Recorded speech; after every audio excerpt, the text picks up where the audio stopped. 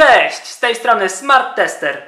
Dzisiaj pokażę Wam, jak rozebrać obudowę komputera All-in-One od Asusa.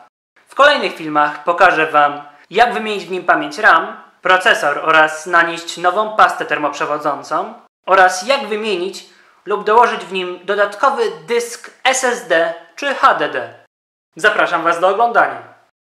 Do przeprowadzenia całej operacji potrzebne nam będą średni śrubokręt krzyżak, najlepiej z magnesem i dużym uchwytem, aby wygodniej z niego korzystać,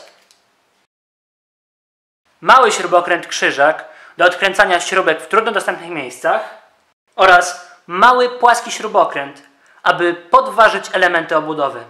Bierzmy się do roboty. Pierwszym krokiem jest demontaż osłony mocowania nogi.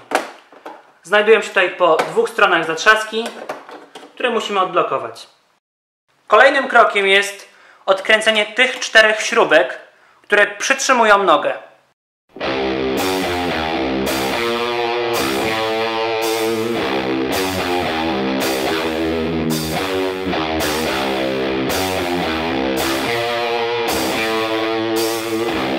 Kiedy już to zrobicie, odłóżcie śrubki w bezpieczne miejsce, tak aby się nie pogubiły.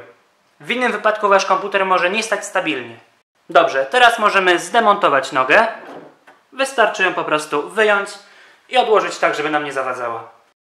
Zanim jednak zabierzemy się do właściwego rozbierania obudowy, warto zaopatrzyć się w takie oto rękawiczki antystatyczne, czy też matę antystatyczną, dzięki czemu nasz sprzęt będzie bezpieczniejszy. Nie jest to jednak wymagane. Ważne jest, aby urządzenie podczas operacji, którą zaraz przeprowadzimy, było odłączone od prądu i były od niego odłączone wszystkie możliwe dodatkowe akcesoria. Przed rozpoczęciem rozkręcania wciśnijmy też kilka razy przycisk Power, aby upewnić się, że cały prąd z tego urządzenia już uciekł. Pierwszym etapem we właściwym rozkręcaniu obudowy jest zdjęcie tych czterech zaślepek śrub. Zrobimy to płaskim śrubokrętem.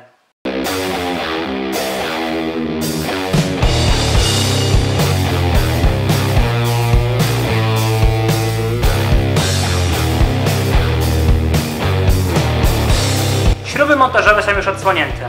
Teraz musimy je odkręcić. Nie zapomnijcie jednak o piątej śrubie, która znajduje się pod tymi naklejkami gwarancyjnymi.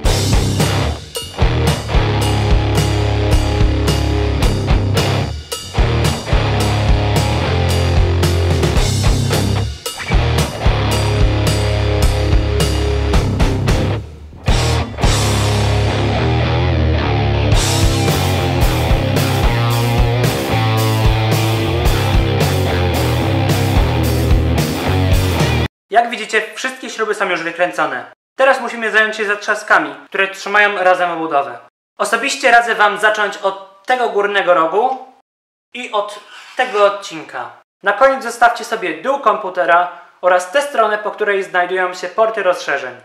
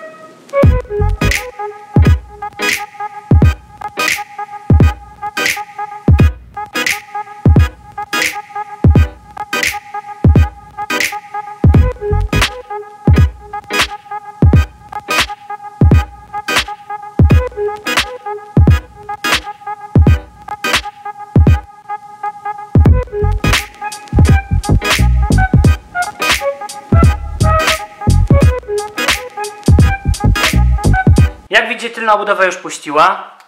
Podczas demontowania tego elementu nie bójcie się użyć trochę więcej siły. Oczywiście postępujcie według rozsądku, ale naprawdę te zatrzaski bardzo mocno siedzą na swoich miejscach. Odłóżmy obudowę na bok.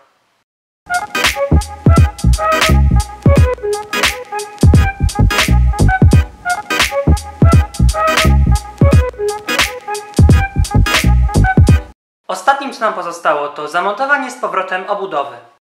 Zakładamy ją w taki oto sposób, aby najpierw umieścić zatrzaski znajdujące się bliżej złącz rozszerzeń.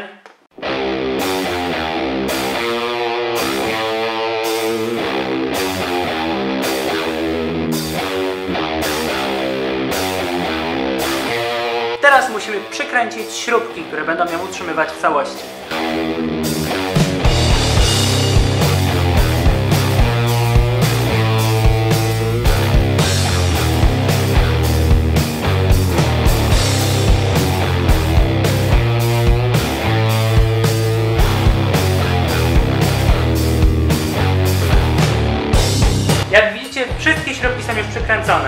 Od razu założyłem też na nie zaślepki.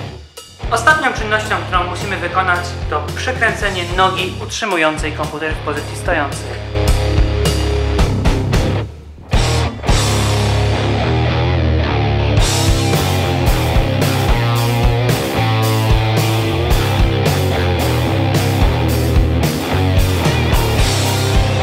Teraz załóżcie zaślepkę.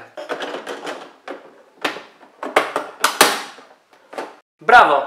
Właśnie unowocześniliście swój komputer. Skończone. Mam nadzieję, że ten film Wam się podobał. Jeżeli tak, to nie zapomnijcie dać pod nim łapki w górę i wyrazić tego w komentarzu. Już niebawem na moim kanale pojawią się kolejne poradniki o podobnej tematyce. Dlatego też nie zapomnijcie zasubskrybować mojego kanału. Do zobaczenia następnym razem. Cześć!